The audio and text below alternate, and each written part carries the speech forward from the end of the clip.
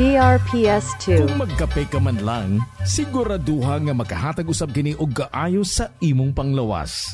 At dunay mga kape nga dili luwas tungod sa mga sangkap na ini. Apan lahi sa uban ang Paragis Bila-Bila Herbal Coffee. Ang sangkap gikan sa prutas nga mangustin, makaayo sa obesity o sa mga tambok, makatambal usab kini sa diarrhea ug makahatag sa muscle strength. Kini anaa sa atong herbal coffee. DRPS2 Sa mga workaholic, epektibo ang atong Paragis Bila-Bila Herbal Coffee. Sama na lang ni Roland De La Cruz, nga taga Mati, Davao. Roland de la Cruz sa Porok Isla, Barangay Central, Porok President. Anong ganahan man kay ka sa kape? Tungod sa sa Bila-Bila Coffee, laskig ang imong lawas ug maayo ang imong lihok.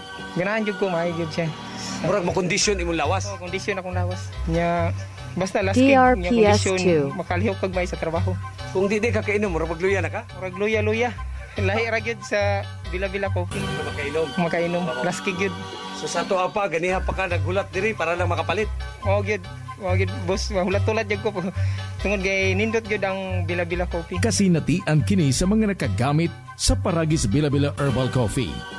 Kung magkape ka man lang, mas maayo mga kaparagis nga imong sabayan kini sa Paragis Bila-Bila Herbal Capsule. DRPS2 Pwede kang magtumar three times a day para healthy every day. Ang ato mga produkto mapalit kini sa inyong mga suking butika. Kini ginama sa GFMQ Marketing. Kaysa Paragis Bila-Bila, dili na ka mag-agwanta pa.